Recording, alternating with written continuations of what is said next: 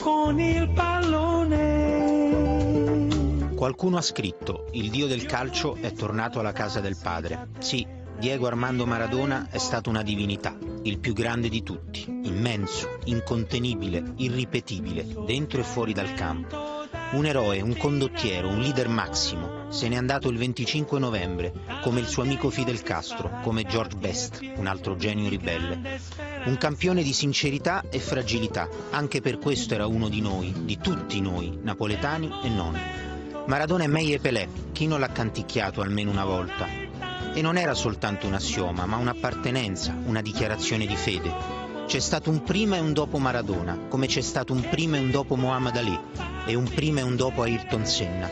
Maradona ti arrivava dritto al cuore, qualunque cosa facesse, nel bene e nel male, fosse un gol o una bravata, uno stop al volo o una fuga dalle regole, una ringa da capopopolo o uno dei suoi sberleffi, al calcio, alla politica, alla vita. Chi non si è sentito argentino nell'estate del 1986, quando con la mano di Dios mandò al diavolo Shilton, l'Inghilterra e le Falkland, anzi, le Malvinas? Genio disonesto, ma come fai a non voler bene a uno che qualche minuto dopo scarta mezza squadra avversaria e infila nella stessa porta il gol più bello della storia del calcio? Chi non si è sentito napoletano l'anno dopo, quando una città, un popolo, una storia furono riscattati e finalmente rispettati?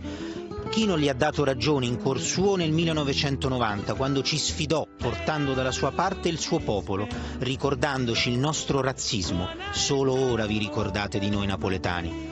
E chi non ha gridato al complotto della FIFA, di Blatter, dei Mamma Santissima del calcio, quando, qualche anno dopo, il tentativo di tornare il re del mondo finì miseramente in una provetta dell'antidoping. Lui gridò al complotto, noi li credemmo pure, ma sta di fatto che quel giorno sudato e afoso del 1994 la magia finì, con la nostra giovinezza, per sempre.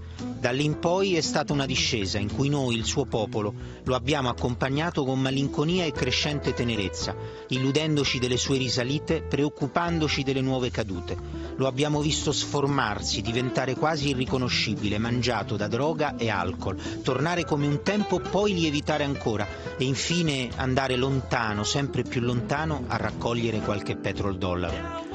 Ciao Diego e grazie di tutto. Ora davvero riposa in pace.